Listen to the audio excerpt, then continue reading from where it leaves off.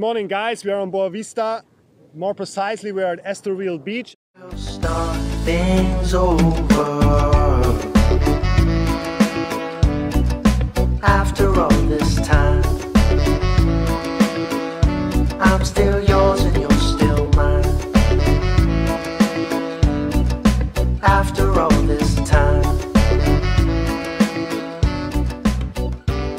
Now, our goal is to get you to know a little bit uh, the different spots of Boa Vista where you can kite, where you can surf, where you can stand up paddle, and do all the different kind of uh, water sports.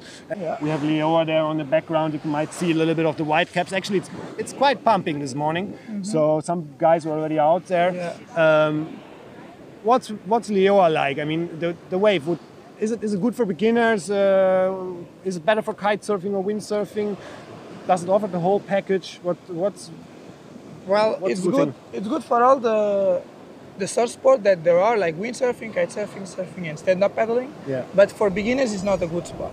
okay? Yeah. It's quite big wave, and sometimes you do washing machine. And for a beginner, it will be something like Yeah. yeah. stressful. You know, not a good Absolutely. situation to be. So Absolutely. I wouldn't recommend it for beginners. Okay. But it's perfect wave. You know, Yeah. not every time. Like today, it's quite good. Sometimes you see some lines, and these lines are are good for surfing.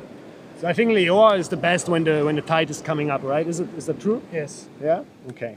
So I've been surfing myself at Liowa a couple of times. Uh, I wouldn't consider myself an expert, but not a beginner yet. It's a very nice and powerful wave. Okay. And I think sometimes we even have some tubes there. Is it? Yeah, yeah, there is some tubes.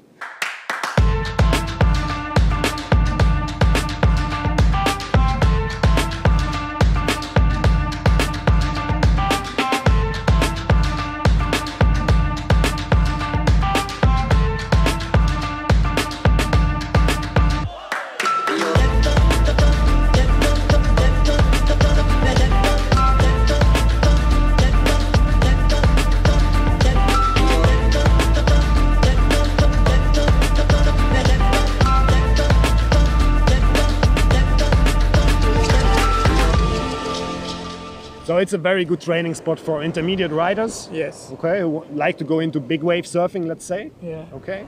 And for professionals, it's very it's the, the quality of the wave is pretty high. I think Yes. you can you can set it like that.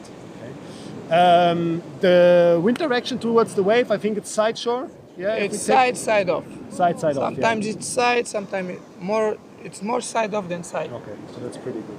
Yeah. And it's a point break, so it's pretty safe. I mean, if something happens in Liowa, you Yeah. you, you you get spit out of the wave, and you have Yes. always time to recover Yes. your material. It's a pretty safe spot, but the wave is massive and it's very powerful. So Yeah. no beginners, only beginners. intermediate riders, please. Yeah, yeah. All right, very cool.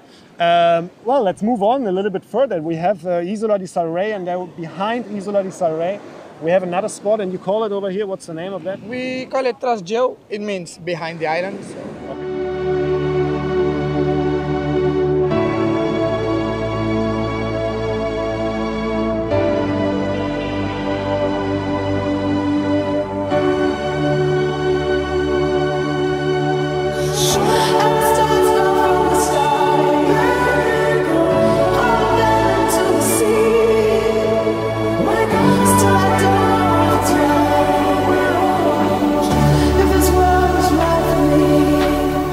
So Isola di Sal Rei, of course, is offshore off off Sal Rei, off Boa Yeah. Vista, so it's far away for the people.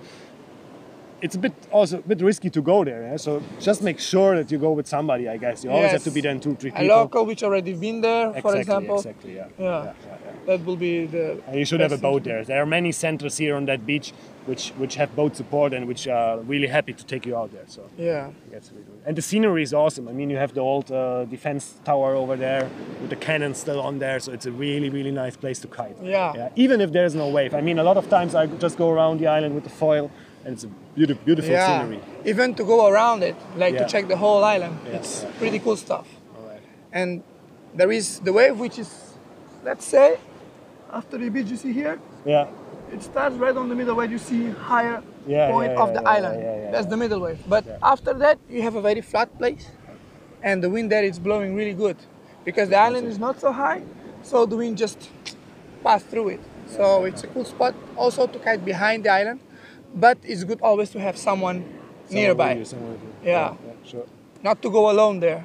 If you if you're a guy which knows about your kite level, then you will decide. Yeah. So that's spot number two. We have Liowa uh, covered. We have uh, Isola di Sal Rei behind there, which I already forgot the name again of the spot. Trust Joe. Tras Joe. Okay, we have English Harbor, which is really far outside, but we're gonna cover that on another episode, not right now. Um, the next one, right in front of the Estoril beach as well, would be the would be the reef. I think we just call it the reef. It's a reef. Yeah. So what what's the reef about? I mean, I can see it now. You can't see it, but I can see it now. It's there is some wave there, and Yeah. uh, it looks pretty smooth and easy. What?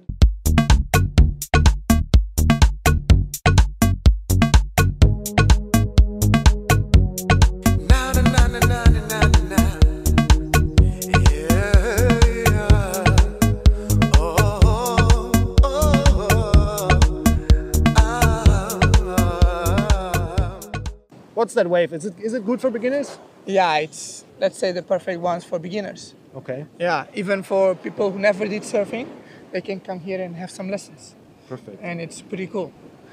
Um the wave, you have many sections there. You have the ones behind; those are a little harder when the wave is like breaking hard. Yeah. because you have swells in winter, which the wave sometimes is breaking every day for the whole week.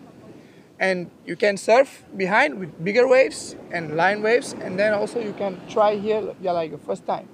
You don't have to go so far away Okay. if you are a real beginner, let's say. So pretty easy wave, uh, Yes. but also high quality. I would say I surfed there a couple of times with my Yeah. SUP, and I really catch some beautiful waves with a couple of bottom turns. Yeah. So uh, it's a nice wave and it's an easy wave, but when it gets bigger, it can be also quite Yeah. quite powerful, I guess. Yes. So we have Estoril Beach.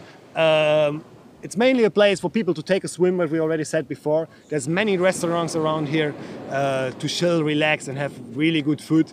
There are a couple of centers as well uh, for rentals uh, and for lessons as well. Uh, we have three wave spots just in front of us. So pretty good beach, I would say. Yeah, Yeah. sure. And uh, pretty relaxed atmosphere. And uh, yeah, that's Boa Vista. That's part number one of our spot guide. And uh, I hope you enjoyed it. Uh, leave the comments below. And uh, soon you will hear from us Yeah. again. I say thanks to Romy. It's really cool to join us today here. Yeah, man. And um, yeah.